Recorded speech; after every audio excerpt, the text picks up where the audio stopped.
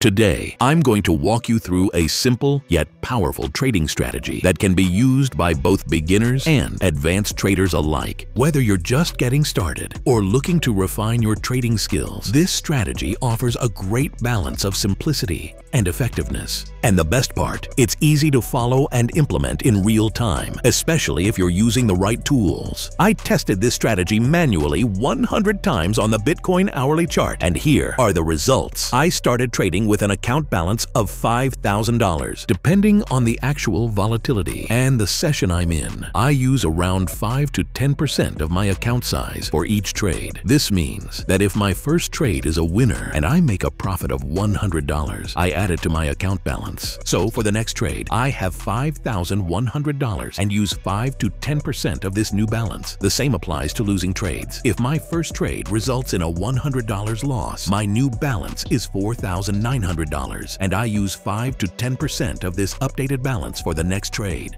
First up, you want to open TradingView and choose your asset. For this example, I'm going to stick with a popular choice, Bitcoin. But keep in mind, you can apply this strategy to any asset you prefer, whether it's a cryptocurrency, stock, or forex pair. The versatility is one of the reasons why I love this strategy. It works across different markets. Bitcoin's volatility makes it a great asset for testing strategies, but always adjust to the asset you're most comfortable with. Next, we need to add our indicators to the chart. For our first indicator, we want to use Luxalgo's price action concepts. And for our second indicator, we're going to use the signals and overlays. Before we dive in, a quick note, this video isn't sponsored by Luxalgo. However, using my link in the description, you can support my channel and get up to a 50% discount on Luxalgo Premium Indicators with an annual payment. Traders, before we start, be sure to like this video and subscribe to my channel. Now, let's dive into the actual strategy. I'm breaking it down into three easy-to-follow steps. Pay close attention because each step is crucial for maximizing your profits. Step 1. Identify an order block below the current price action. An order block is essentially a consolidation zone where institutions or large traders likely place their orders. This is where the market often reacts strongly, making it a prime area for entering trade trades. Finding an order block is very easy as we're using the price action concepts indicator. So once you've spotted an order block below the current price, you're off to a good start. Keep in mind that patience is key in this step.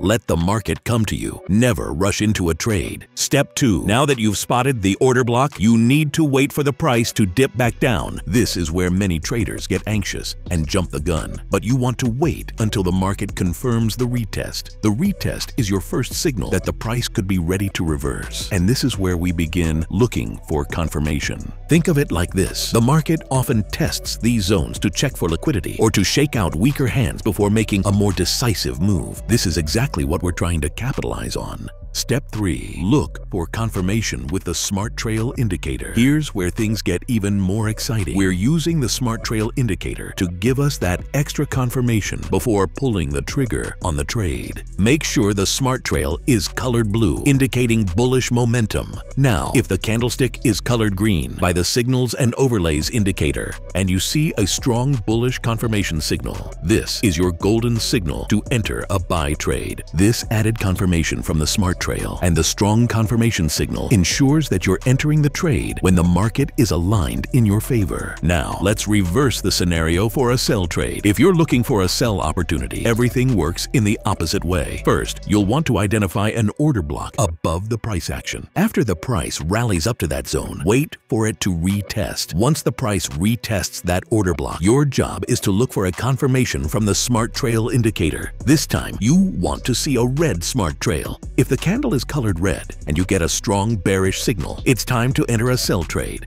Of course, trading is not just about entering at the right moment. It's equally important to protect your trade. To keep your risk in check, you should always set a stop loss just below the blue smart trail for buy trades or just above the red smart trail for sell trades.